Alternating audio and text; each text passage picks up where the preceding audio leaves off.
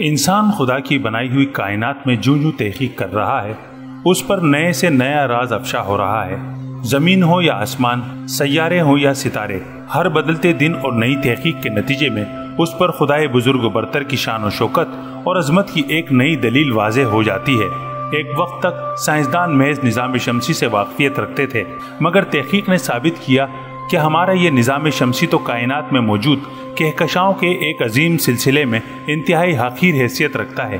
अब इंसान ने ज़मीन से कहीं और ज़िंदगी के आसार की तलाश शुरू कर दी है, जिसके नतीजे में उसने कई सैारों पर तहकीक की है, और मरीख पर इसे ज़िंदगी के आसार न सही, मगर कुछ ऐसे शवाहिद की मौजूदगी का पता ज़रूर चला है।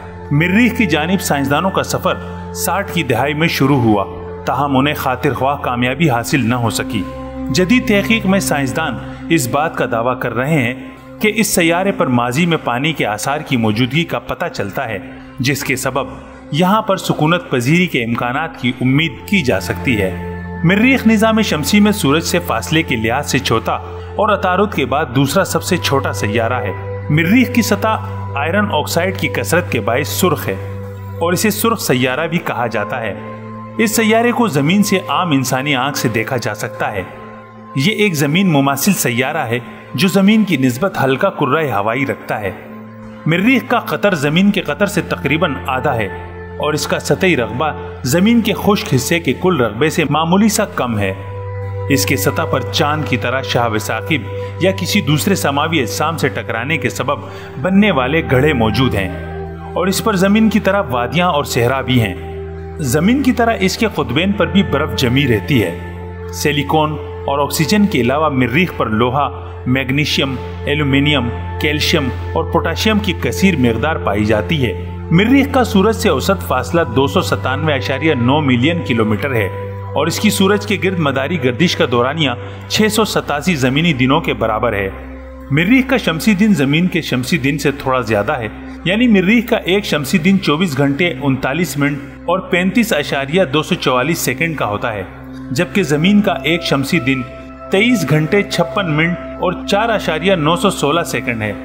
मरीख का एक शमसी साल ज़मीन के एक साल 320 दिन और अठारह आशारिया दो घंटों के बराबर है। मरीख का मदारी दौरानिया तवील होने के बायस यहाँ पर मौसम का दौरानिया भी ज़मीन की नस्बत तकरीबन दुगना होता है। जदीद तहकीक से मालूम हुआ है कि मरीख पर एक बहुत बड़ा आतिश फिशा है, जिसे ओलंपस मोनस कहते हैं। ये पहाड़ निज़ाम शमसी के सैारों पर अब तक दरियाफ्त होने वाले पहाड़ों में सबसे बड़ा है। इस सैारे पर निज़ाम शमसी के तमाम सैारों पर दरियाफ्त होने वाली वादियों में सबसे बड़ी वादी भी है। मरीख के दो चाँद हैं, जिन्हें फोबोस और देमोस कहते हैं। ये चाँद छोटे और बेतरतीब शक्ल के हैं। इनके बारे में ये भी कयास किया जाता है कि ये छोटे सैारचे हो सकते हैं, जिन्हें मरीख की कशी से सकल ने पकड़ लिया हो, जिसकी वजह से ये मरीख के गिर्द घूम रहे हैं। मरीख पर सुकूनत पजीरी के हवाले से तहकीकत की जा रही हैं, जिसमें यहाँ पर माजी में ज़िंदगी के आसार की मौजूदगी या हयात के मुमकिन की तलाश शामिल है। मुस्तबिल में मरीख पर हयातियात की मनसूबाबंदी भी कर ली गई है, जिनमें 100 मार्च रूवर 2020 एक अहम मनसूबा है। मरीख की सतह पर कम हवाई दबाव की वजह से माए पानी का वजूद तो नहीं, अलबत्ता इसके दोनों कुतबेन पर बर्फ़ जमी है। इसकी जुनूबी कुतुब पर बर्फ़ की इतनी मकदार है, अगर ये पिघल कर पानी में तब्दील हो जाए तो ये 11 मीटर यानी 36 फुट की गहराई तक पूरे मरीख की सतह को घेर लेगा।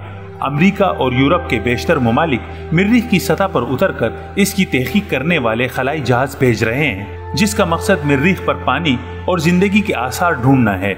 क्योंकि अक्सर साइंसदानों का ख्याल है कि मरीख पर किसी जमाने में ज़िंदगी मौजूद थी।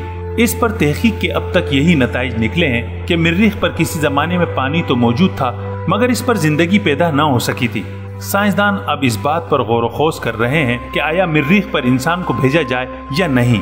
उम्मीद है ये रिपोर्ट आपको पसंद आई होगी। मजीद ऐसी मालूमती और दिलचस्प वीडियोस के लिए चैनल सब्सक्राइब करना ना भूलें।